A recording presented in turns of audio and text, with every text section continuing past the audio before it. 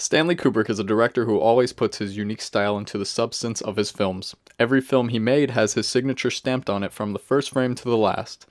In this signature are many reoccurring motifs, including the lust of man and the objectification of women, anti war statements, and violence. My favorite motif, though, would have to be scenes taking place in a bathroom.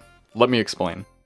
From Spartacus to Eyes Wide Shut, one or more scenes take place in a bathroom in his films, and are usually vital to the plot. In Spartacus, Antoninus and Crassus share a bath together while exchanging words of loyalty and war. In Lolita, Humbert Humbert is consoled after the death of Charlotte by John and Jean Farlow in the bath. In Doctor Strangelove, General Jack D. Ripper commits suicide inside his bathroom, with Captain Lionel Mandrake just feet away outside the door. In 2001 A Space Odyssey, Dr. Dave Bowman finds solace and familiarity in the bathroom after traveling beyond the infinite. In A Clockwork Orange, Mr. Alexander discovers Alex in the bathroom singing the same song of his home intruder and wife's rapist. And in Barry Lyndon and Eyes Wide Shut, both feature a husband lying to his wife while in the bathroom. I'm sorry. Is my hair okay? It's great. You're not even looking at it.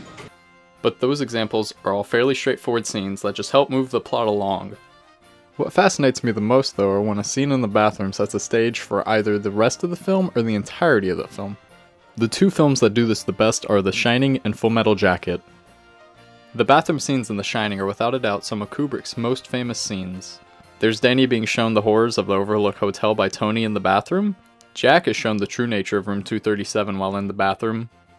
Jack then meets Mr. Delbert Grady in the bathroom and is told of what he has to do. And finally, most famously, Here's Johnny takes place in the bathroom.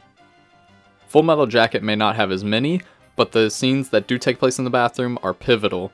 In Full Metal Jacket, we see Private Joker and Private Cowboy first discuss Leonard being a Section 8 while in the bathroom, and later in the film, Private Joker witnesses the murder of Gunnery Sergeant Hartman and the suicide of Private Pyle. What I interpreted the bathroom as signifying is revelations. Revelations to the truth for our key characters. In The Shining, all three Torrance family members are made aware of the horrors of the Overlook while in the bathroom. In Full Metal Jacket, Private Joker is made aware of the horrors of war before he's even shipped off to Vietnam. So the next time you're in the bathroom, think about how you could be experiencing a pivotal part of your own story. Thank you.